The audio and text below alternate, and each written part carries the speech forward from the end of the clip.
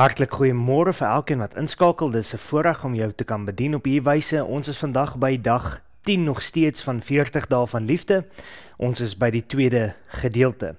Nou net om vir jou so 'n bietjie te herinner waarmee ons besig was. Gister het ons gesels met jou rondom die die gedagte dat ons moet lief wees vir mekaar, ons moet ons liefde in aksie kom sit en dat ons nie net in 'n gewoonte moet val om te sê ek is lief vir jou, maar my dade en optrede en die wyse wat ek dit toon stem nie eintlik ooreen nie.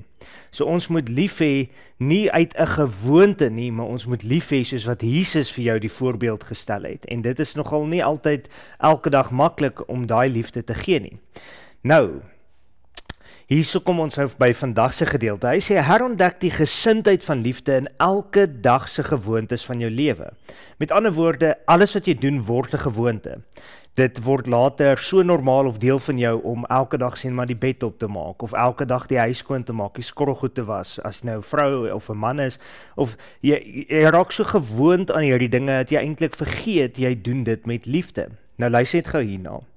Jy neem eenvoudig die dinge wat in 'n gewoonte ver, verval het en spuit liefde daarin. Luister mooi, jy vat jy vat jou gewoontes, dit wat jy elke dag gedoen het en jy spuit dit met liefde in.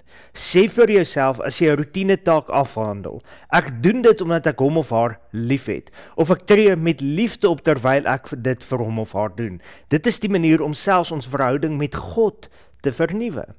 So elke oggend as jy opstaan dan doen jy nie stilte tyd omdat dit 'n las is nie. Jy doen dit omdat jy lief is vir God en jy honger is om met hom tyd te spandeer. Omdat jy maak koffie vir jou geliefde omdat jy lief is vir daai persoon en herinner jouself ek maak vir hom of haar koffie omdat ek lief is vir hom. Ek ma maak kos omdat ek lief is vir haar of ek doen dit omdat ek lief is vir haar. Ek help in die huis omdat ek lief is vir haar. Jesus raai die gelowiges in Efesië aan om weer te doen wat hulle in die begin gedoen het, om terug te keer na hulle eerste liefde toe. Hulle moes weer die dinge doen wat hulle aan die begin gedoen het, maar met 'n nuwe gesindheid wat die gevolg was van 'n hart wat verander is. Luister mooi.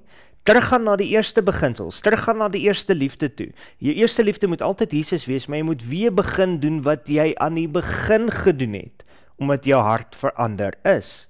Waarom is dit belangrik? Juis omdat 'n groot deel van die lewe uit rotine bestaan. So moenie terugval in 'n rotine nie, moenie terugval net in 'n gewoonte nie, word verander. As jy nie toelaat dat die liefde deel word van die rotine van jou lewe nie, sal liefde elke dag die grootste gedeelte van jou tyd ontbreek. As jy steeds wonder of jy die vermoë het om hierdie daaglikse keuse om lief te hê te doen, moet jy net in gedagte hou dat hierdie nuwe gebod deur Jesus aan ons gegee is. Niemand kan ons beter as wat hy ons ken nie. So het jy werklik lief met God se liefde? Of is dit maar net eenvoudig ek ek, ek probeer maar eintlik is al my hart niks. Jesus beveel ons nooit om iets te doen wat hy nie gewillig was om te doen nie. En waarvoor hy nie in staat is om ons die krag te gee om dit te doen nie. Elke keer as ek 'n gebod sien kan ek vir myself sê ek kan dit doen deur God se krag. Ek is tot alles in staat, die Christus wat my krag gee. Ek is vandag tot alles in staat om hierdie in liefde te hê en hierdie met liefde te hanteer.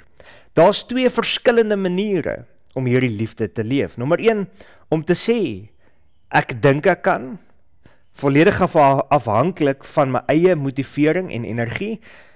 So om vir jouself te sê ek dink ek kan, ek dink ek kan. Dit is uit jou eie krag uit. Maar luister mooi. Daar's altyd nog 'n berg wees om te klim. Op 'n dag gaan jy berg toe kom wat jy nie kan klim nie.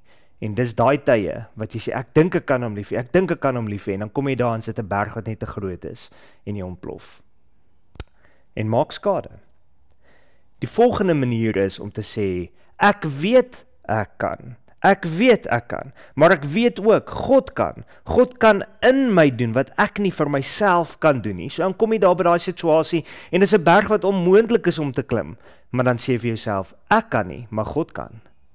En daarom weet ek, ek kan. En dan klim jy daai berg en maak deur God daai groot verskil.